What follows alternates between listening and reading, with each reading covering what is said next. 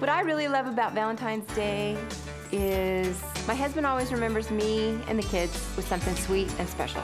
And he knows it better be Russell Stover. Remember her and the kids with something sweet and special from Russell Stover.